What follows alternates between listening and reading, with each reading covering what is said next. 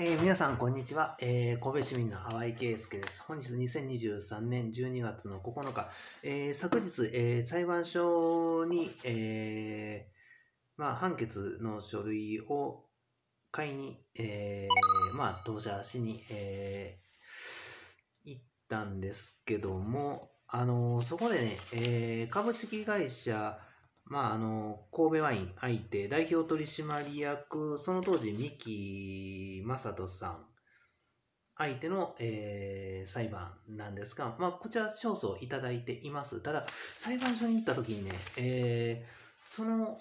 番号は出てこなかったんですよ。で、これ、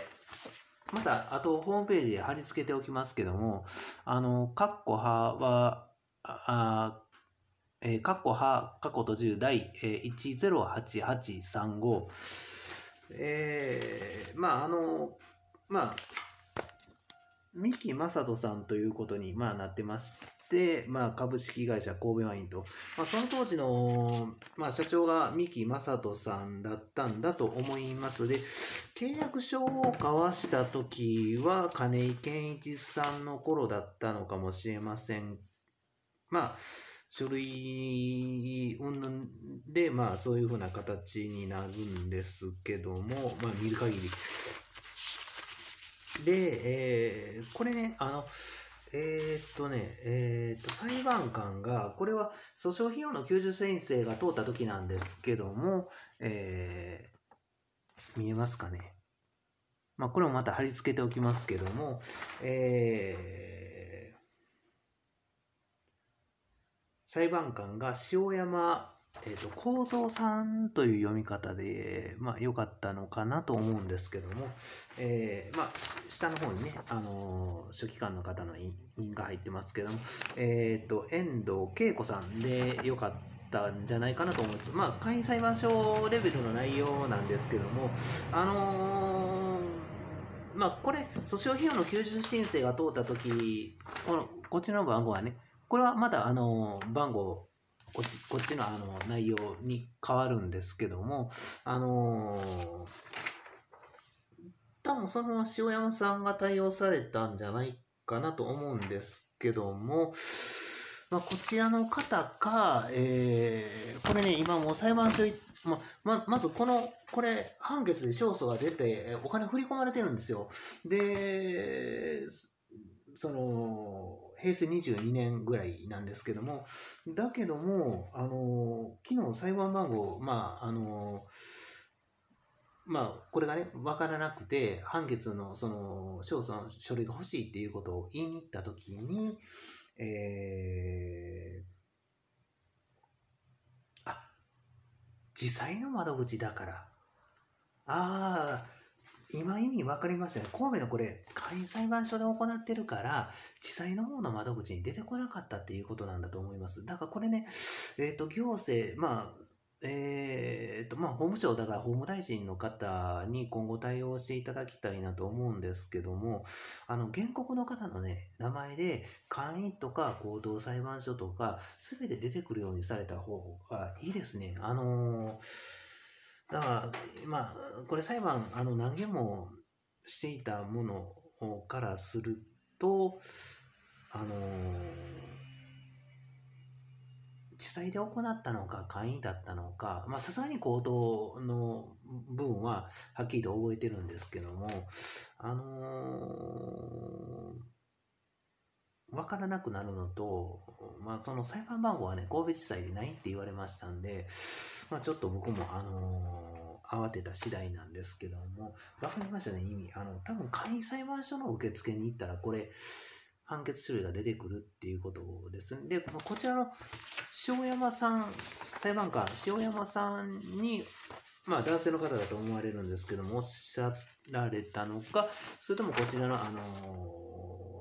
事件番号、平成21年、えー、括弧は第、えー、を、えー、州和株式会社。まあ、こちらの方も訴訟費用の救助申請は通っていて、えー裁判、えーかなり進んでいました。まあ、藤井、藤井、えっ、とね、まあ、あの、ちょっと名前の読み方がちょっとわからないんですけども、まあ、藤井書記官、男性の方、えー、当時、まあ、髪の毛染められてましたね。で、えっ、とね、州和株式会社の担当の裁判官は、えー、えー、とね、ちょっと待ってくださいね。えー、っと、まあ、どちらかのね、あの裁判官の方が、僕はね、あのー、その当時30歳ぐらいだったんですけども、月給30万円で課長退場で神戸市立ホテルフルーツラーパークで、えー、仕事しませんかということをおっしゃられたんですよね。で、もしかしたら塩屋は、まあ他にもいろんな裁判の件とか抱えていたのと、その当時あの、結婚問題のことに対応しようとして各テレビ局を回ったりしてたんですよ。で、その、まあ他にも訴えたい裁判の件とかあったにせよ、その、あのー、まあ、基本的に結婚問題は各テレビ局の窓口とか事務所とか行ったら対応してくれるだろうなって思ってたんですよ。で、だからそれを今、あのー、裁判云々って言ってるんじゃないんですよ。で、あのー、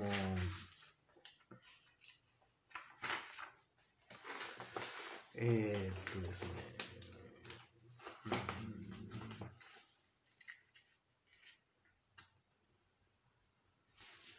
だから、いろんなところ、そのキムチっていうのは、そのテレビ出てる人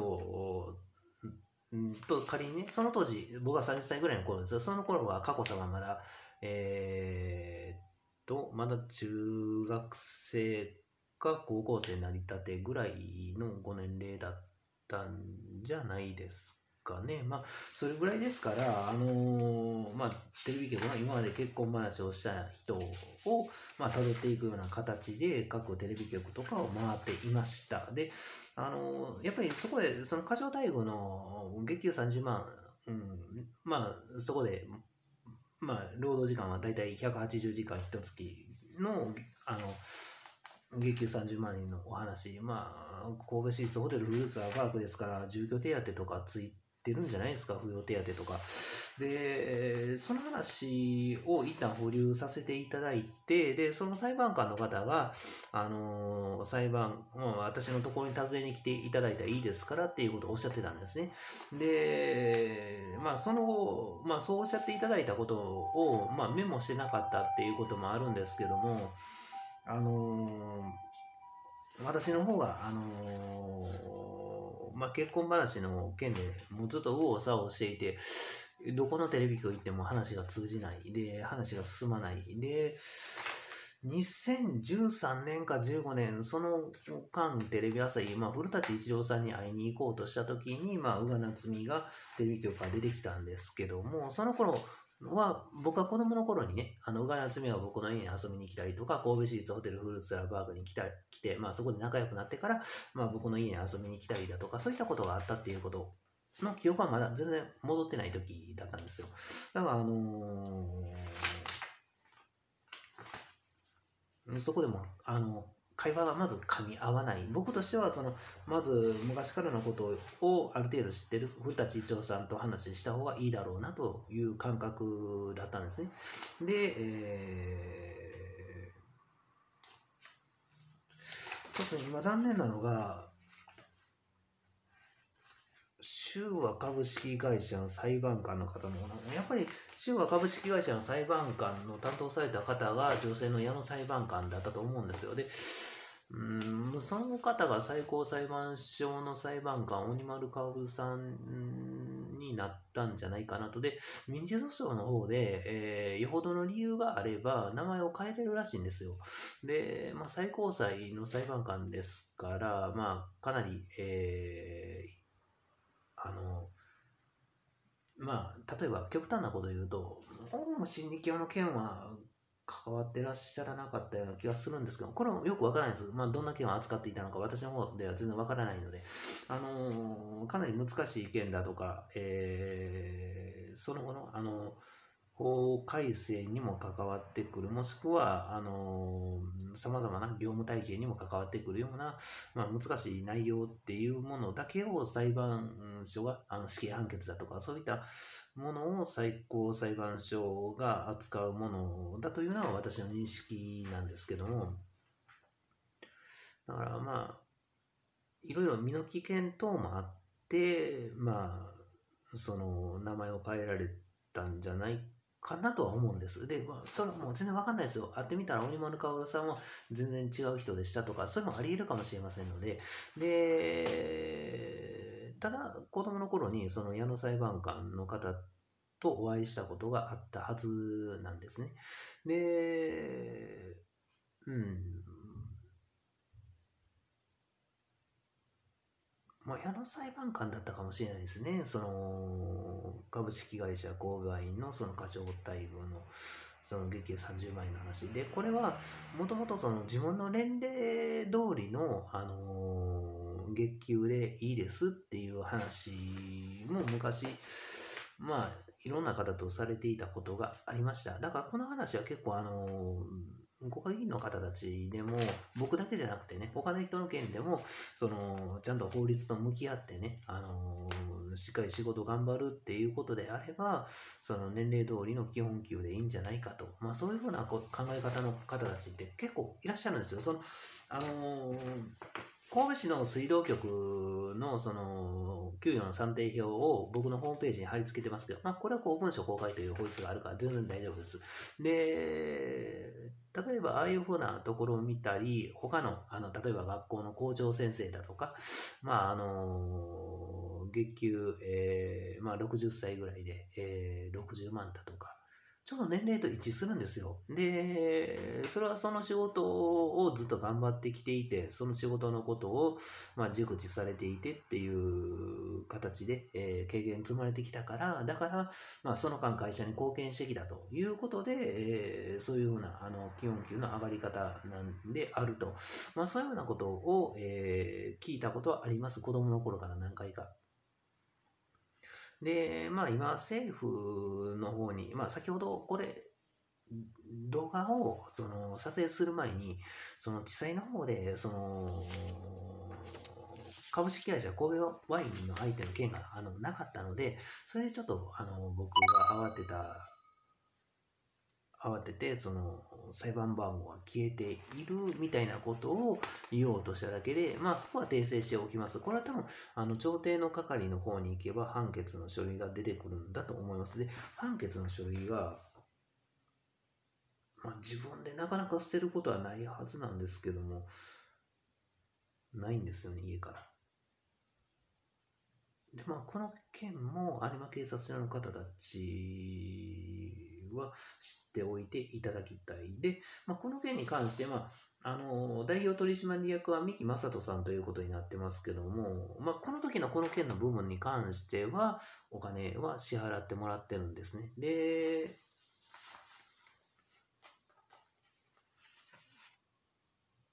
うん、だからまあ、どちら州は株式会社の件なのか、株式会社神戸ワインの件なのか、どちらの裁判官の方が、まあその、給与30万円の話をおっしゃっていただけたのかっていうところと、うん、まあ、州は株式会社の件に関しては、まあ、これもちろん訴訟費用の救助申請が通って、まあ、書類がまあ、だいぶあるんですけどね、あのー労働基準局の方とかに手伝ってもらって、書類集めてもらって、その後、まあ、裁判所に、えー、まあ、弁護士さんなしで提訴して、訴訟費用の基準申請通って、で、裁判も法廷開かれて、ある程度進んでたんですよ。で、まあ、はっきりと裁判官の方がね、それは会社に責任がありますって、その、高速道路での居眠り運転の事故なんですけども、一月の労働時間370時間。で、まあ、もう僕の勝訴はまず間違いないんですけども、まあそこでも、あのその給与の算定表通りの考え方の、えー、内容でのお金の支払い方とかも説明していただいたんですね。ただその時に僕ももう目も追いつかないですし、あのー、そこで録音とかさせていただくっていうのは多分一番いいんだと思うんですけども、まあそれは法律名があるっていうのは知ってます。裁判官の許可があれば、録音ができるだとか、撮影ができるだとか、法廷を。で、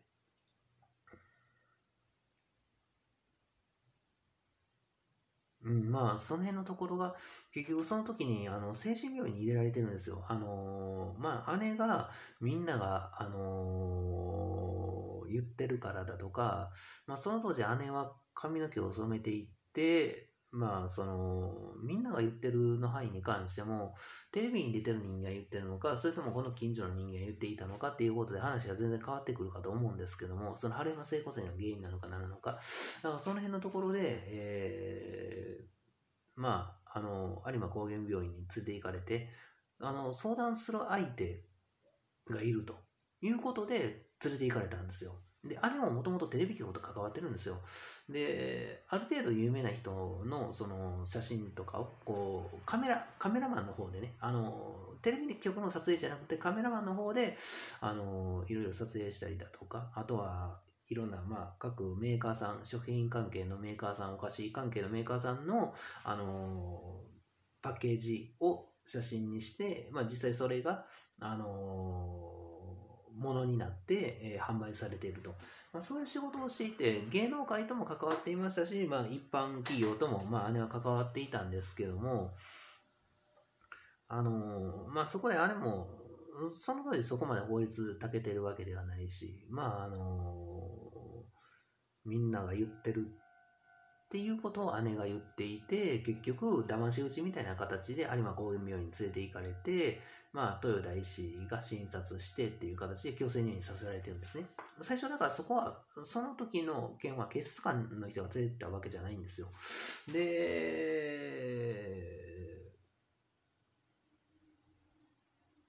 その時にもう一件訴えていたのが、あのー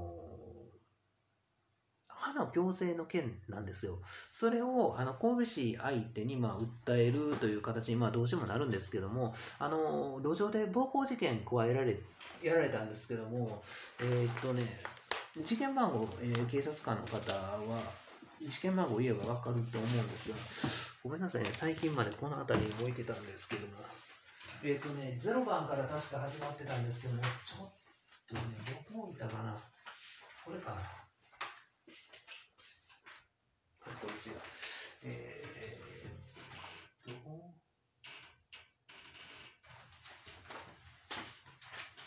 ごめんなさいね、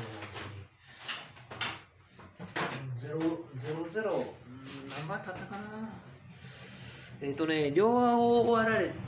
た件なんですけども、両方殴られて、で、神戸大学附属病院に搬送されて、それが2008年の6月ですね。で、あの、歯の矯正に関して、あの、その順序としてね、さっきお金もらってからじゃなかったら、あの、歯の矯正受けさせてもらえなかったと思うんですよ、手続き的に。で、そこの、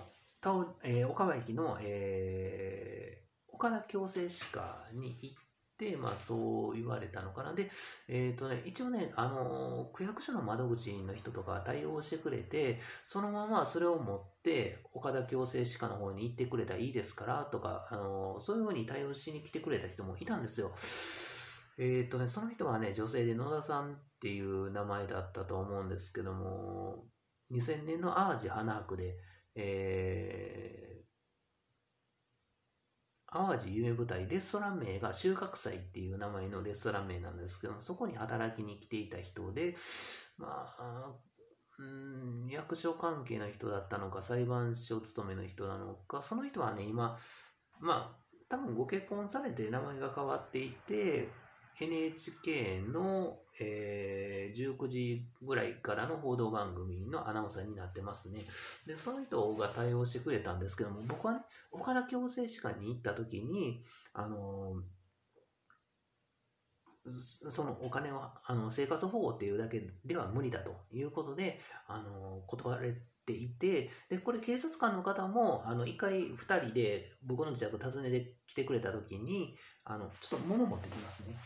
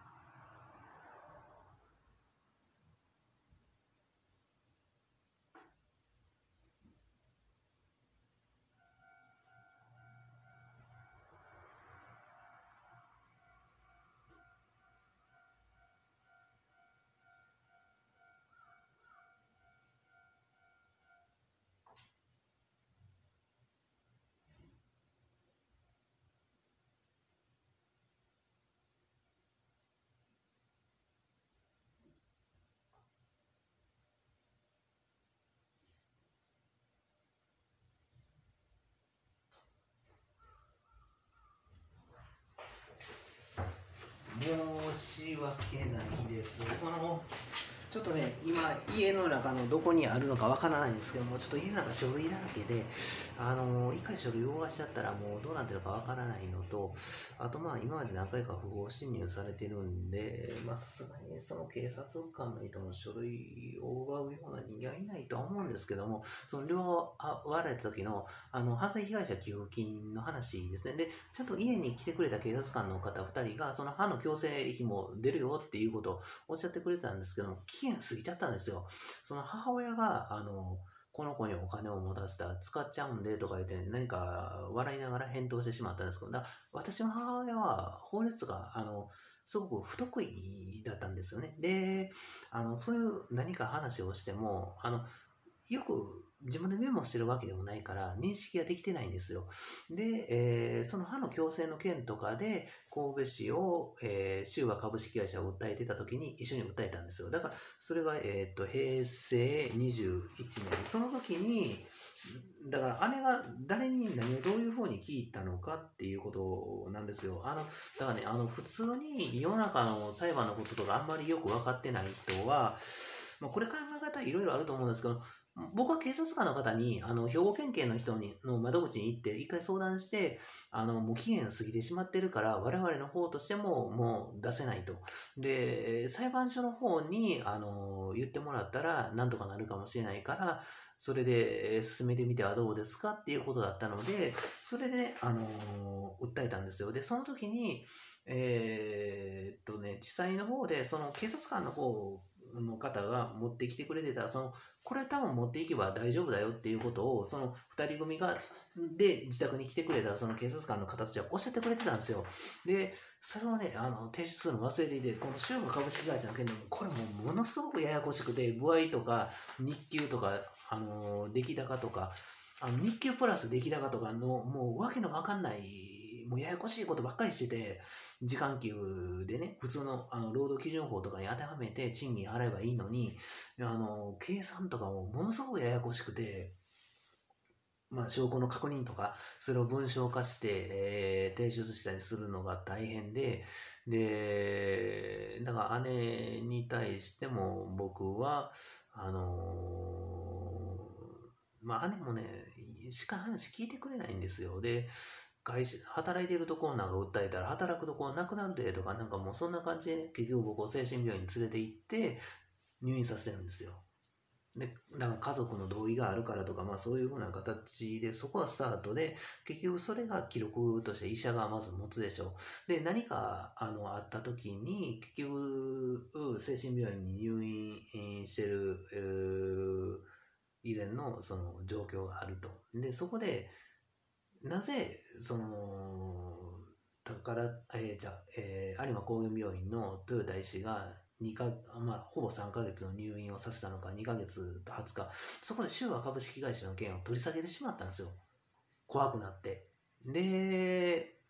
あのー、結局この裁判番号も、あのー、この、は、もう引用してある分なんですけども、この3000 9、これに関しても、もう地裁に行っても、もうないんですよ、記録が。あのー、棄却、まあ、棄却じゃなくて、まあ、取り下げっていう形になってしまってる。で、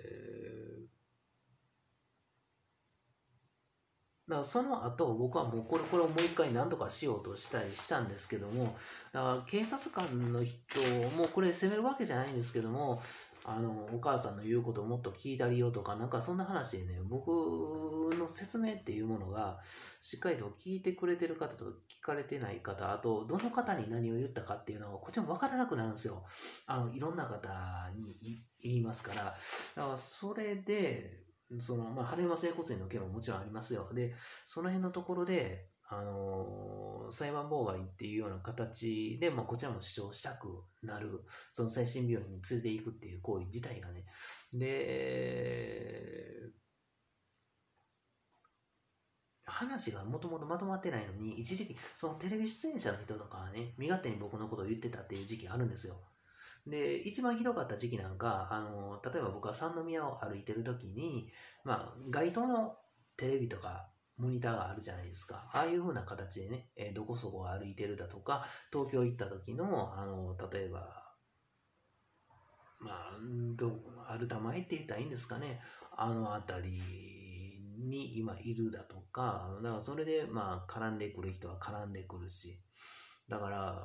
そういう期間がすごく長い間続いたんですよ。僕は30歳以降の頃ですね。で、その、あのー、歯の矯正費のことに関して、まあ、訴えた時の相手が、まあ、神戸市の、あのー、北区役所の主査の人だったんですよね。で、その人は僕に向かって、えー、1時間ほど、あの、敬語なしでも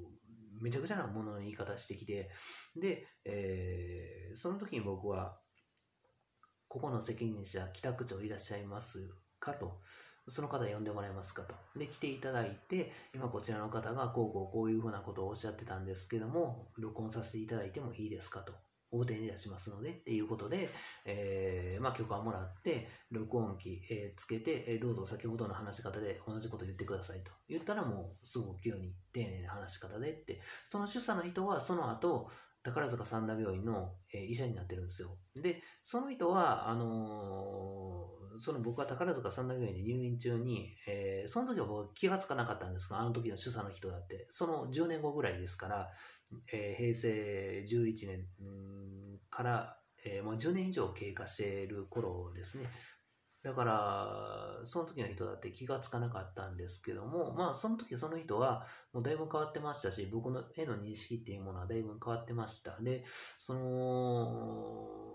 その人も、どこのためにどういうふうに物事を聞いていたかなんです。だから普通に考えて、あの、路上でね、男4人組でこっち1人でね、あの絡んでこられて、で、こちら、は警察署行って話をしようって言って、相手は同意して、それ、そこのオートバックス、ああの、有馬警察署の横の、もう目と鼻の先だから、相手も、あの、そこで話し合うって言ってるし、あ、これは無難に話収まるなと思って、警察官の方が間入ってくれるからと。その行く途中に、急に前後から同時に殴りかかってきて、両顎を割られてるんですよ。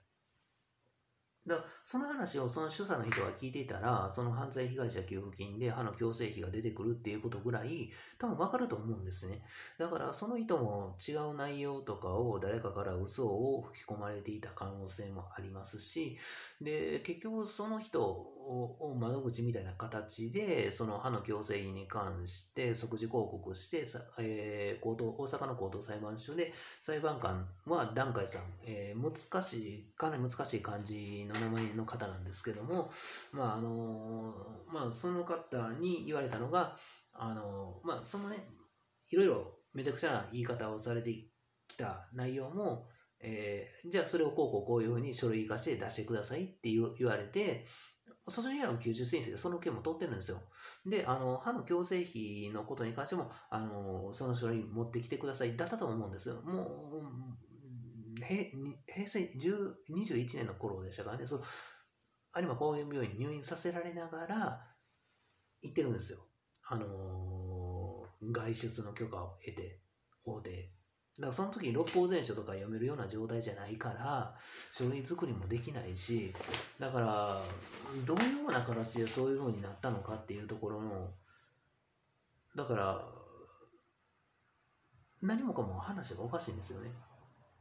のその精神病院の、えー、豊田医師も、えー、小林麻也アナアナウンサー、元アナウンサーかもしれませんけども、現在、えー、昔は淡井圭介の勤務先に何回も会いに来て結婚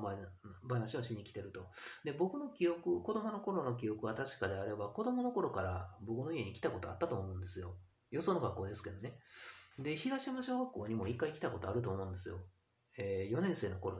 だったと思うんですけども、あの、クラスの中に違う学年の人間が混ざっていて、え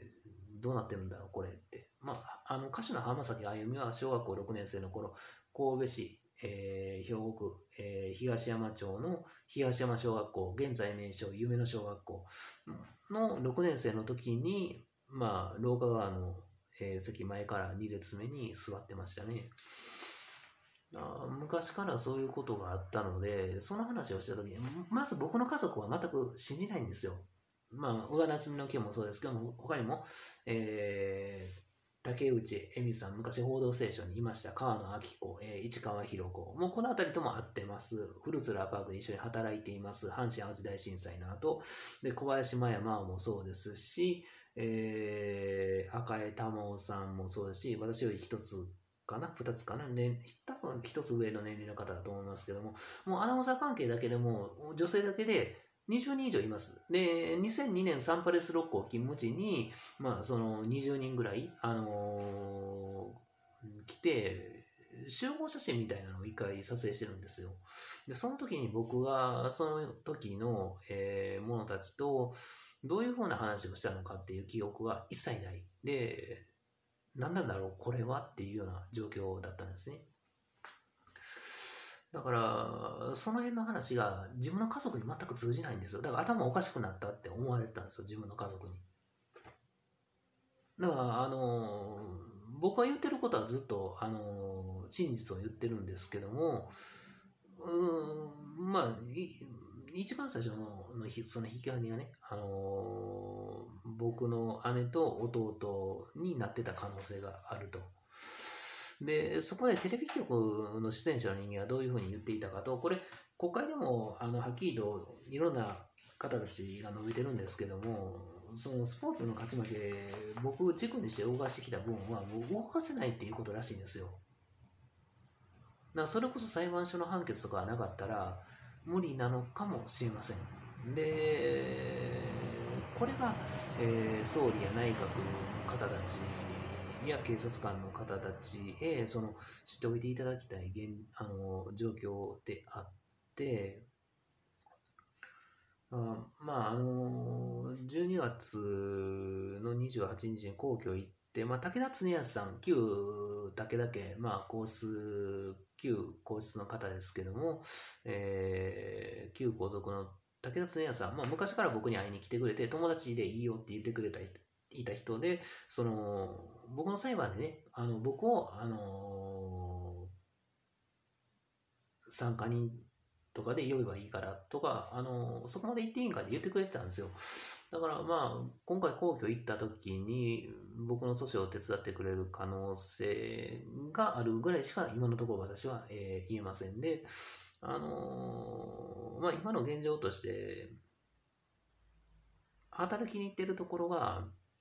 まあ、流通センターのそのスタッドレスのあのタイヤの、えー、トラックからの積み下ろしだったり積み込みだったりだとかあと倉庫から、えー、まあ、タイヤを出したりだとか、まあ、出荷に備えて、まあ、そういう力仕事をしていてそこって、あの、僕の今の契約の w i f i だと、あのまあ、YouTube とかつながりませんし、インターネットもつながらないんで、休憩時間何してるかって言ったら、法律、六法全書を持っていって、あの、民法とか、えー、第一条が何で、あの、後ろの方に小さい文字書いてるじゃないですか。何々法の何々だとか、えー、まあそういったところでもずっとメモして、えー、作ってると。で、それが、まあ出来上がったら、まあまだ民法のところなんでね、それ作るんだけでも数ヶ月はかかると。だまあ一応僕の頭の中で今これでどうにかなるかなっていうところが民法の中であるその利益を永久に放棄することができないっていう内容ですね。だからそれでまあなんとかしようかなとは思ってるんですよ。だからそれのところでうん、だから、変わる変わるいろんな人間が外からからかってくるとか、無理やり起こしに来るとか、無理やり起こすのはもう、もう間違いなく裁判妨害ですね。で、その不法侵入を何回もしてる人間とかとそのグループ化していてね、特にあの、僕は両顎殴られた件以外とかでも、もう僕は二十歳ぐらいの子にフルーツラパークで働いている時に、その、披露宴会場とかの裏方をパントリーって呼んでるんですが、そこへね、見知らぬ男が入り込んできて、いきなり水落ち殴られて、もうその場で僕もうずくまって立ち上がれなくて、まあ、そういうことされたりだとか、あと、州和株式会社で、骨の、勤務者じゃないんですけども、同じ店舗の、なんか、骨の間に指を入れてきたりとか、あれもうめちゃくちゃ痛いです。で、よっぽど腕力とあの握力がなかったらそれはできないんですけども、そういうふうなあのめちゃくちゃなあの加害行為っていうのはされてるんでそういう人間がもしグループ化されていた場合全て総合するとそのさももちろんこれは裁判所の裁判官がどういうふうな判断をするかは分かりませんよ。だけども、これ暴力団っていう可能性になる可能性もあるんですよ。で、僕は両顎を割られた時に神戸大学附属病院に搬送されて、翌日オペを行って、その後、強制わいせつされてるんですよね。だから、まあ、昔からそのスポーツの勝ち負け淡いケースが行ってるっていうことを知ってた人は知ってるし、えー、これは日本全国にかなりいらっしゃいます。で、まあ、その球場のファンの方がね、あのー、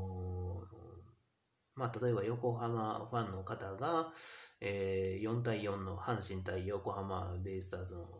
まあ、当時、横浜ベイスターズだったか、横浜 DNA ベイスターズだったか覚えてないですけども、あの、バッターボックスに新井選手が入ってる時にね、明らかにもうみんなでね、あの、応援団の人たちが、淡い頑張れって大きな声で言っていて、で、えー、阪神タイガースはサヨナラヒットを打ててるんですよね。で、うーん、まあそういうふうなことがあったから、あの、まあ、横浜ベイスターズ優勝させてあげようかなで、えー、横浜ベイスターズ優勝させてあげたりだとか、もともと二十歳過ぎの頃かな、二十歳ぐらいの頃、それ行ってるんですよ。横浜ベイスターズの頃、えー、マシンガン打線って呼ばれてた頃ですね、すごい、えー、得点能力が高かった打線。で、だから、ファンの間でも僕のことは結構噂になってましたし、テレビの放送でも、えー、バレーボールの試合で女子日本代表だったと思うんですけども、すごい試合とラリーが何回も続いたりだとか、で、その中でも面白い場面もあるのと、あと、もう一つ、まあ、あと何かありましたね。まあ、まあ、それでも、あの、ちゃんとしっかり試合勝ってるんですけども、まあ、あのー、それは親善試合で、あの、公に言って、一回行ってるんですよ。で、まあ他にも、うん、いろんなことをメッセージとして伝えていて、現場の人たちに言ってもらったりだとか、まあそういうふうなことを行ってて、二十歳ぐらいの頃からかなり知名度はあったのが僕の存在なんですよね。で、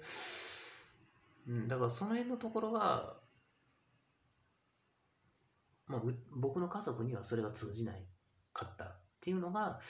まあ現実的なところですね。だからそこで警察官の人たちとかも、まあそういうふうな事情が知らなくて、例えば春山整骨院との昔のいきさつだとか、そういったことが知らなくて、それで強制入院として連れて行ってしまった部分とかも事実としてあると。だからその辺のところで、えー、だいぶこの話複雑になってるんですよ。で、まあ、の、その、働いた先のね、賃金とかの不払いだけでも手いっぱいなのに、他にもこんなにたくさんあって、で、さらに、こう、精神的な攻撃なのか何か分かりませんけども、あのー、まあ、今日、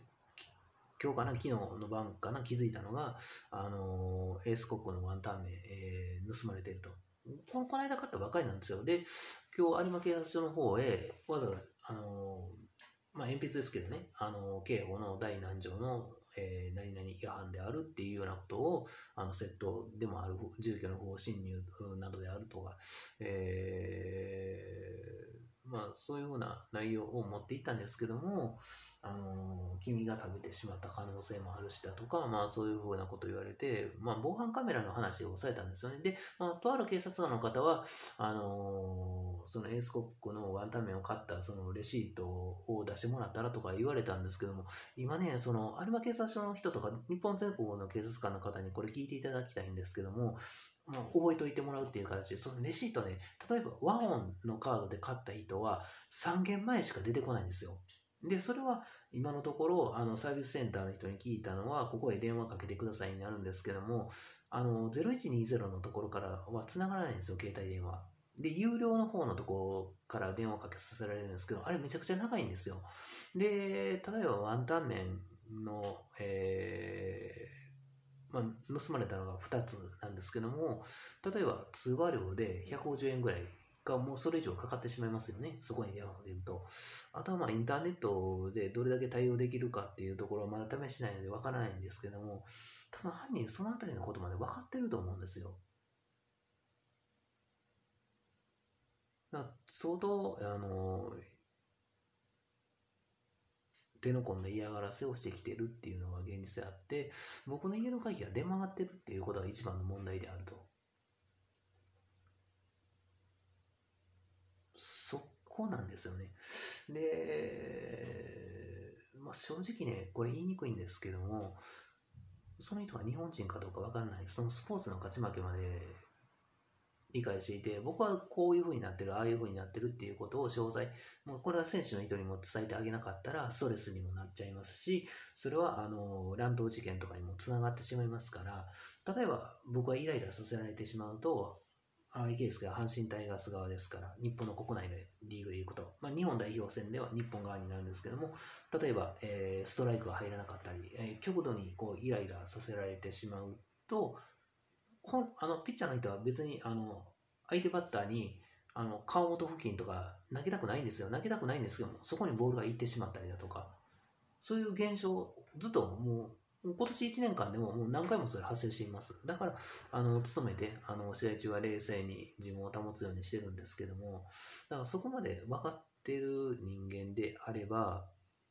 その、国際線で言うと、外国人の人の可能性も、まあ、ないとは言い切れない。例えば、あのー、じゃあ、東京からのお金の流れとかある人たちとかが、淡井圭介を怒らせてとかで、その、今日気づいたのがエースコックのワンタンメンの話ですけども、それ今まで何回も不法侵入されて家の中のパンを盗まれてるだとか、そういったことありましたので、で、で、現にね、あのー、株式会社、これ以外のこの勝訴のね、判決の書類が見当たらない。あ、じゃあこれは手話株式会社、ごめんなさいね。えー、っと、こっちですね。えー、平成22年、括弧、は、括弧閉じる第109935。調停じゃなくて、えー、違う、違う、えー、会員裁判所、会員裁判所の方ですね。えー、提出します。会員裁判所です。えー、家の中で亡くなっていると。お金までも振り込まれてるんですよ、この件は。だから、勝訴の判決出てあるのに、家からないと。だから、もうちょっと自分一人じゃもうどう考えても手に負えないんですね。まあこれが、あのー、現状ですので、これはもう自民党の方たちも、立憲民主党の方も、維新の会の方も、あの共産党の方も、まあ、あとは国民民主党の玉木さんぐらいでしたっけ。まあ、あのーそれだけじゃなくて、日本中の警察官や検察官の人たちも、あの、状況を深く理解していただいて、まあ僕の場合、あの、法律にある、法律ある程度かじっている以上、あの、人権のこととかも分かってますし、あの、精神病院とかの行ってる、その精子が生産されなくなる薬だとか、あとは、あの、きつい薬、要するに毒を飲ますっていうあの習慣も、あれは多分ね、その第二次世界大戦の名残だと思うんですよ。当時のそのめめちゃくちゃだった時代。で、それによって、そこの規制っていうものが未だに、あの、出来上がっていないっていうのが現状であって、まあ、その辺のところを警察官の方たちに、そのご理解していただきたいのと、だからそういう人、あの、ちょっとしたことで入院させられてる人たちがいっぱいも僕は目撃していて、それは、あの、精神病院についてっていう僕のホームページ、淡井圭介の歴の、えー、302番あたりのところでいろいろ言っています。だからそれが現実ですんで、そのどうしてもお金で、働くイコールお金であって、会社の売り上げとかをどうしても人間が考えてしまうものであって、だから医者に関しても何でもかんでもすぐに入院させてしまうっていうのはあると思うんですよ、多分。その、一月で110万以上、えー、請求かけています。で、これ三振等以内の請求とかありますから、僕の方まで来た件もありましたね。姉、姉を、姉がその精神病院に入院してっていう件で、父親経由で。だから、あのー、この件をいろいろと捜査していく中で、どんなことが発覚してくるか、これはもうわからない。だからその辺のところは、まあ、しっかりと、あの、肝に銘じていただいて、肝に銘じるというか、しっかりとメモしていただいてね、あの、日本中の警察官の方たちで、ちょっと大きな案件で、あの、他の国も同じようなことをしてしまってると思うんですよ。で、そこからの脱却がなぜできていないのかっていうところ、ちょっとこれ、単独で動いてもかなり厳しそうなので、まあ、できるだけ多くの警察官の方たち、知識、その状況をご理解していただいて、あの、味方していただけたらなと思っての、えー、呼びかけです。まあ、それはやめさせなかったら、あの、どう考えても理不尽すぎます。で、その請求金額とかを考えたときに、例えば3ヶ月近く入院させられた人間って250万を軽く超えます。まず間違いなく。2ヶ月と20日ぐらいでも。で、それが高額療養費制度とかあったにせよ、普通の裁判とかでね、あの、罰金を納めるような形に、まあ大体以下になるじゃないですか。まあ保釈金云々とかもありますけども、あのー、ちょっとしたことの割に全然金額と見合わないんですよ。だから精神病院、これぐらいの件で連れて行ったらあかんなとか、そういうことをね、あの警察官の方たち全員がしっかりと、あのー、覚えといていただきたいなと思います。まあまあ、何回かこの私が言ってる内容を一時停止をしていただいて、まあいろいろメモしていただけますか。あの、それは皇居の方もそうですし、国会議員の方たちとかも、あの、対応していただけたらなと思います。その辺のところがね、結局、あの、皆さんの良い未来につながっていくっていうことになってきますんで、これはちょっと無理ありすぎますよ、本当に。以上です。えー、皆さん長い間ご清聴ありがとうございました。